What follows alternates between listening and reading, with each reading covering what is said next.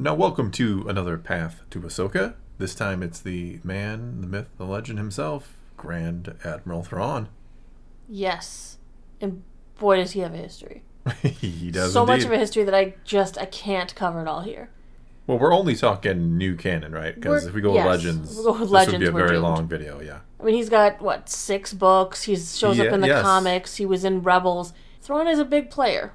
He should be a big player. Yes. So I'm gonna try and condense to get you as much as you would probably need to know for Ahsoka, and maybe a little extra for funsies. Well, you said you weren't really going to delve into the books too much here. No, I'm gonna probably skim the surface just a just a tiniest pinprick fraction of what. Just in case they actually kind of just take those into account, which would be cool. But I'm But I'm probably gonna even touch on that less than you think because there's so much to go over. Well, the book- yeah. Trying to get you to know who he is coming out of Rebels, which is where Dave Filoni is most familiar with him. yeah, which is where they're mainly going to draw from. They're not probably going to draw from the books too much, which I hope they do, but we'll see. All right. Well, Thrawn is a chiss, obviously. We Well, don't obviously. Not everybody knows about the blue people out there in the unknown regions. He's part of the Chiss ascendancy, which all are in the unknown regions. or the chaos, as Mm-hmm. It tends to be called. Then he eventually, of course, he did become a Grand Admiral in the Imperial Navy during the age of the Galactic Empire. He has a very like calm and collected demeanor, and he's a brilliant military strategist, known for his anticipation of enemy attacks and his own tactical precision. You could say he's worked to perfect the art of war. also very like an interesting way he has a high respect for his enemies believing that in order to defeat a worthy opponent you have to understand them in every aspect including their history and philosophy this, Their art, their culture. exactly this goes along with his strong appreciation for art that he believes studying it lets him delve into the psyche of the people and cultures that the art belongs to How do you think Thrawn would feel about our art and culture? i'm more interested in what he'd think of what a art is ai art he would. He would be very confused by AR. It's like I don't. I don't, I don't understand. What culture is this? Where's the history? There's none. Sorry, it's sorry, just Ron. I'm a very, computer. very sorry. Yeah, but moving on. A short time after the formation of the Galactic Republic, he encountered a colony of refuge Neimoidians. The colonists at that time warned him about the tyranny of the Empire and pled with him to bring the full force of the Chiss ascendancy against the Empire. This is kind of Thrawn's real first introduction to the Empire, as his people were now exploring the line, pretty much between the the, edges, outer, yeah. yeah, between where they are and the rest of the galaxy. Yeah, they don't really. Each side doesn't really know about the Mm-hmm. rest or what they're doing. So Thrawn reported back to his superiors about the encounter, and they were concerned about this report and wanted to know whether the Empire was like a good ally or not. Yeah, they got problems out there in the uh, unknown regions. Yeah. Yeah. So he was given a mission. He would infiltrate the Empire in order to either make it an ally or weaken it to become easy prey for other threats. Gotta love the chiss. Very smart. He did work out a plan within his people. He was publicly stripped of his rank and went into a fake exile. Fake exile allowed him to eventually kind of get picked up by the Empire, and he even got to meet Palpatine. He informed Palpatine of the Chiss ascendancy and that there was a mysterious threat in the unknown regions, and he was offering up his information on the threat in exchange for the Empire's help. He wanted to convince Palpatine he was to be trusted, and he offered up the name of Skywalker as someone who could vouch for him because he had come across him years before Yeah, during the Clone Wars. during yeah. the Clone Wars. And they went on a little mission together because That's- everyone knows everyone in the galaxy. Somehow Thrawn and Mm-hmm. Anakin met each other. It's it's a good book. It's the second book in the first Thrawn trilogy in the new canon. The Emperor informed Thrawn that Skywalker had died at the end of the Clone Wars, but he had spoken highly of him before that time. Oh, really? wink, wink. Yeah, Thrawn will be winking at that too. He, he figures that out Yeah. in the second book, that Yeah. same second book. The Empire then offered him a role in the Imperial Navy, and his career was highly successful, and he had, of course, a series of promotions where he eventually became Grad Admiral, which the Emperor awarded him himself. Hmm, that's yeah. That's pretty much how you got to get that rank. When Governor Price requested a strong commander capable of defeating the rebels on Lothal, Grand Admiral Thrawn accepted the challenge, intent on dismantling the rebellion one piece at a time. Yep, that's in Rebels. Yep, so we've, we've moved to the show already. Yeah, I had to, like, turn his entire life into a few minutes. there's a lot of there's a lot of stuff Mm-hmm. in those books, especially the second trilogy that goes deep into the Chiss ascendancy and their culture and a lot of things. It is it's a very good read, but it would be a really long recap. Yes. Thrawn proposed an initiative to develop a new starfighter in the TIE line with improved offensive and defensive capabilities. The TIE Defender multi role starfighter, or TIE Defender for short. Unlike most models in the TIE series, the Defenders would come equipped with deflector shields and a hyperdrive, which is Deflector shields. Why would pilots want that? because like ISB officers captured and interrogated renegade TIE fighter pilots who sought to defect to the rebellion. The agent's briefings showed that all of the captured would-be defectors were reluctant to pilot fighters that lacked energy shields or hyperdrives. As a result, the defender would not only be more effective at defeating rebel fighters, but increase loyalty among Imperial pilots. And he was given the authority to use Lothal as the location of his TIE Defender program and manufacturing plant. hmm Yeah. Imagine that.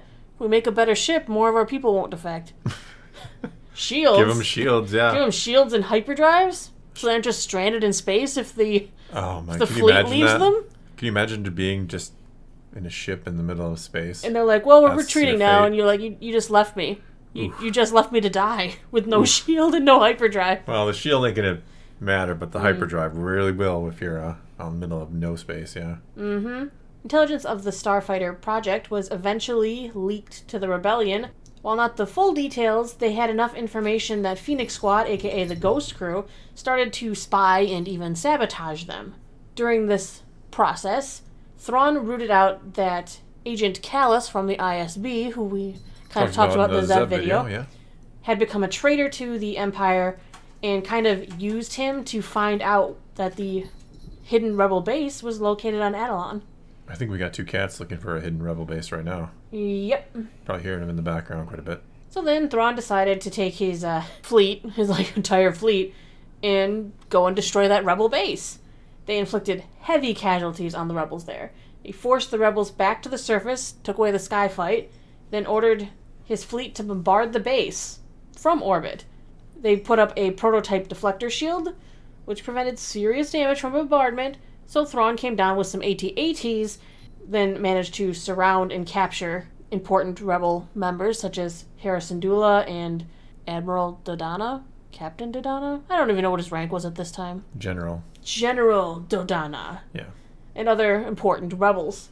When Hera refused to surrender, Thrawn threatened to kill them one by one, beginning with Kanan, who he had deduced with his smartness that that was her love interest. smartness. Well, you know.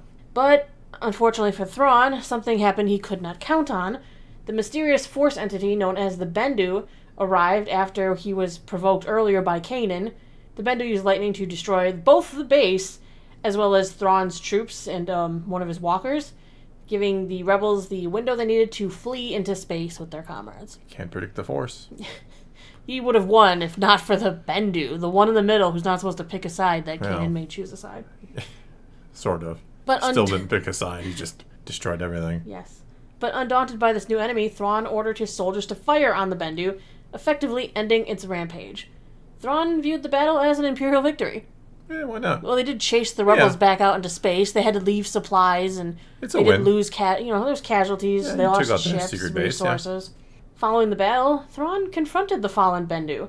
He asked what manner of creature it was, and the Bendu replied that it was beyond Thrawn's power to kill. The Bendu also predicted Thrawn's defeat at that time, describing it as many arms surrounding you in a cold embrace.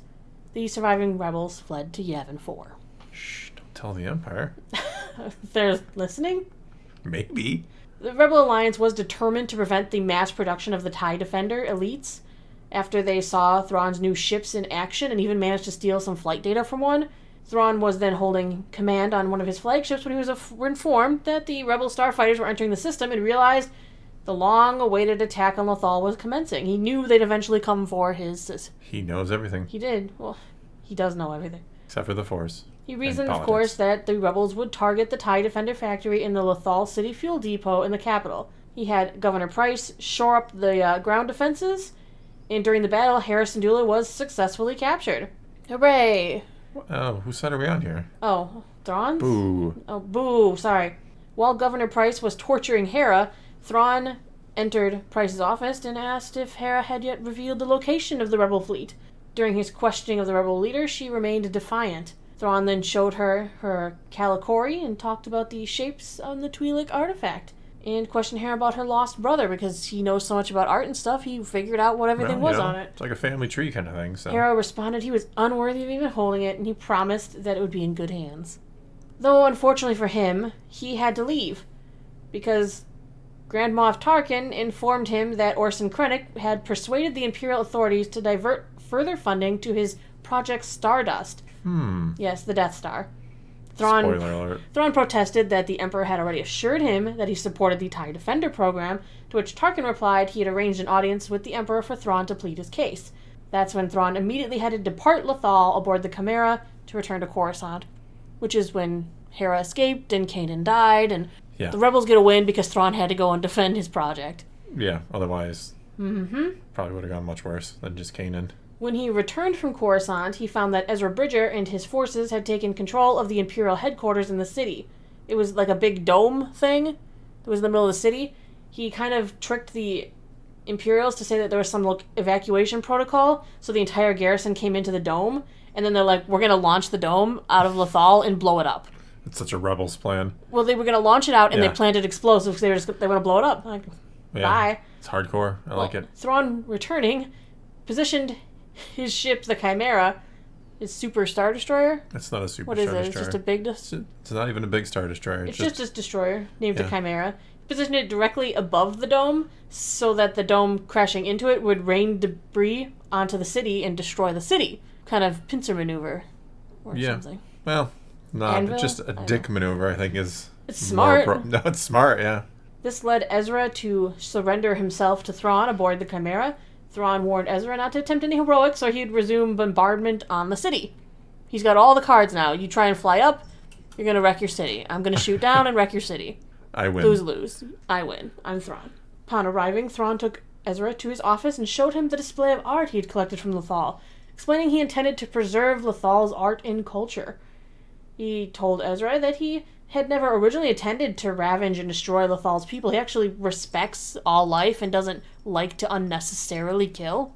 But he now believed it was inevitable because of the rebellion that Bridger and his friends had staged. He did respect the people of Lothal in their culture and sought to preserve as much as he could while beating the planet into submission. He's just doing what he has to do. He, he, He's a good guy. do what must be done. the rebels managed to gain the upper hand in the Battle of Lothal. Thrawn stated it was only a momentary setback, but then multiple unknown uh, contacts emerged from hyperspace and destroyed Thrawn's. Yeah, they destroyed his blockade fleet in orbit. It was the flock of Purrgil, which were summoned by the ghost at Ezra's instruction.